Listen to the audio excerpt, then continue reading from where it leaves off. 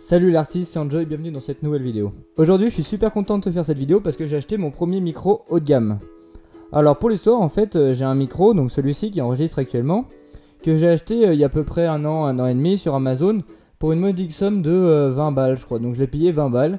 À ce qui paraît sur Amazon il était excellent, il y avait toutes les étoiles jaunes que je pouvais voir. Donc au moment où je l'ai acheté en fait c'était juste pour enregistrer, bah, je faisais la trompette et je me suis dit que je voulais en fait commencer un peu à m'enregistrer, découvrir un peu le monde de la musique et de l'enregistrement. Et du coup, j'avais pas forcément besoin d'un micro super cher. Et d'abord, je voulais voir en fait euh, si ça me plaît. Et donc du coup, bah, du coup, ce que j'ai fait, c'est que j'ai acheté ce micro-là. Et euh, du coup, en fait, bah, jusqu'à aujourd'hui, euh, j'enregistre avec ce micro-là. Je vais te mettre le lien de ce micro justement dans la description pour que tu puisses, si ça t'intéresse, regarder les caractéristiques et même l'acheter si tu souhaites débuter un peu avec un micro potable. voilà, donc ça c'est un micro qui se branche en XLR. Donc il faut savoir que les micros en XLR, et eh ben en fait, ils doivent être alimentés. Et donc du coup, comme ce micro je l'ai acheté et qui c'est un micro en XLR, et eh ben il faut l'alimenter avec une alimentation fantôme. J'ai regardé sur Amazon, voilà, une alimentation fantôme, je crois que j'ai payé 15 balles. Tu branches ton micro dessus, ça ressort en jack et comme ça je branchais en jack sur mon PC et c'est comme ça qu'il marchait. je pouvais pas régler le gain, donc du coup en fait c'était juste un peu plus fort que si je l'aurais branché direct, mais le son était vraiment pas top, euh, pourri quoi. Et du coup, il y a pas longtemps, j'ai acheté une carte son, la Focusrite euh, Solo, et euh, du coup, en fait, ça m'a permis justement de brancher directement, sans passer par une alimentation fantôme, car elle est comprise dans la, dans la carte son, de brancher justement ce, micro en fait qui, me, qui avait un son pourri, et pour faire justement mes vidéos. Donc du coup, j'ai acheté ma carte son, et j'ai branché justement ce micro là et donc du coup toutes mes vidéos depuis le début de la chaîne sont, sont, sont filmées avec celui-là là donc il, a, il a doré tout c'est de la peinture il n'est pas en or et euh, donc du coup je remets la bonnette euh, filtre anti-pop. Ce micro, eh ben, il est bien, sauf que euh, pour la voix, donc c'est à dire que là j'enregistre ma voix, il est, intéressant. Le son est de bonne qualité, on n'entend pas le bruit de fond, il siffle pas, il a une bonne qualité.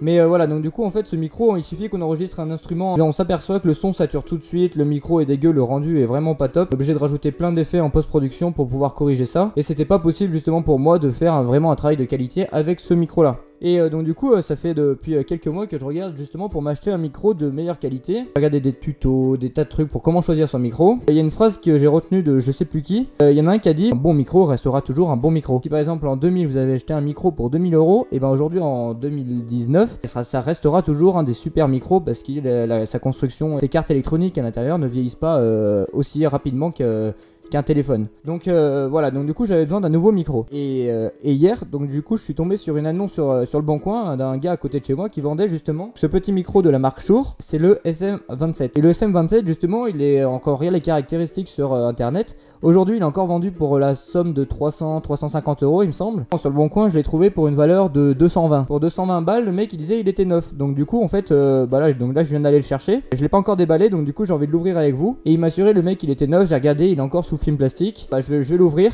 On va faire un petit test rapidos et si vous êtes vraiment intéressé, je vais faire un test complet justement sur ce micro pour savoir si ça vaut le coup de l'acheter ou non. Donc là, je suis vraiment content d'avoir acheté mon premier micro. J'espère que je me suis pas fait arnaquer parce que je lui ai dit, bah, pourquoi tu vends un micro neuf, mec? Et il me dit, bah en fait, euh, à la base, on me l'a offert. Euh, je voulais un micro de scène et tout, mais j'ai l'impression qu'il connaissait rien en fait au monde de la musique. Bon voilà, donc du coup, je me suis laissé tenter. J'espère que je me suis pas fait arnaquer. Donc du coup, c'est parti euh, pour l'ouverture. Je vais descendre un peu la caméra.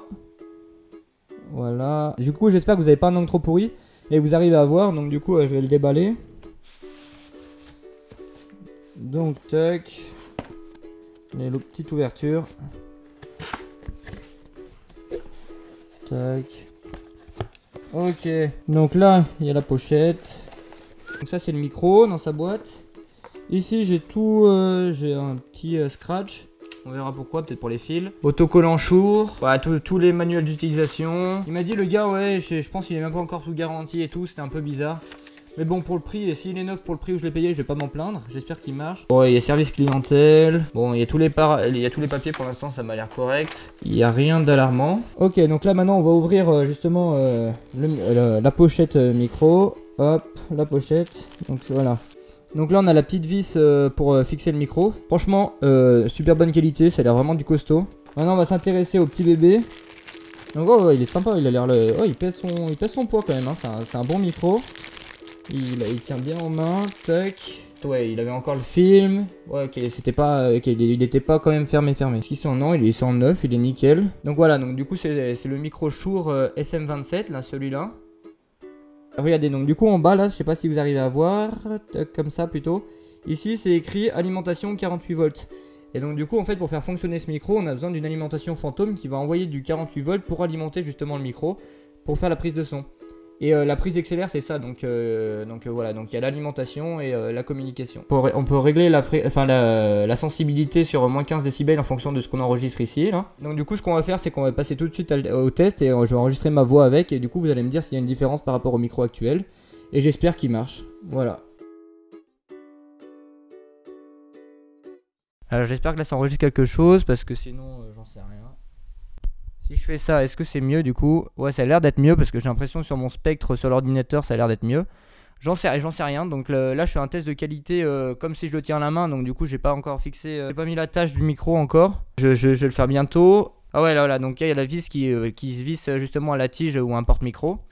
Et voilà, du coup, j'espère que le son il est bon parce que j'ai aucune, j'ai aucune idée par rapport au spectre si le son il est mieux que pas.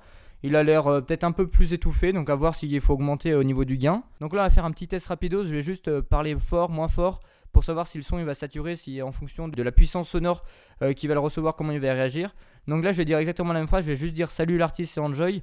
Et un moment, je vais dire moins fort, un moment plus fort. On va faire pareil avec, avec bah, justement mon ancien micro, celui-là. Et on va voir justement s'il y a une différence. Donc allez, c'est parti. Salut l'artiste, c'est Enjoy. Salut l'artiste et enjoy Voilà, donc du coup là je l'ai fait complètement avec deux intonations différentes. J'espère que bah, ça va pas se tirer, on verra. Et maintenant je vais le faire exactement à la même distance avec ce micro là. Salut l'artiste et enjoy. Salut l'artiste et enjoy Bon euh, voilà donc du coup c'est bon j'ai enregistré mes deux bouts. Je vais finir cette courte vidéo avec euh, mon ancien microphone. Euh, Si t'es intéressé pour un vrai test de, mon Shure SM27 N'hésite pas à me le dire dans les commentaires ou bon voilà. Je pense que de toute façon quoi qu'il arrive j'en ferai un. Si t'as aimé du coup cette petite vidéo un peu unboxing N'hésite pas à mettre un pouce bleu en bas de la vidéo. Et d'ici là je te dis à bientôt. C'était Enjoy. Salut. Salut l'artiste et Enjoy. Salut l'artiste et Enjoy. Salut l'artiste et Enjoy. Salut l'artiste et Enjoy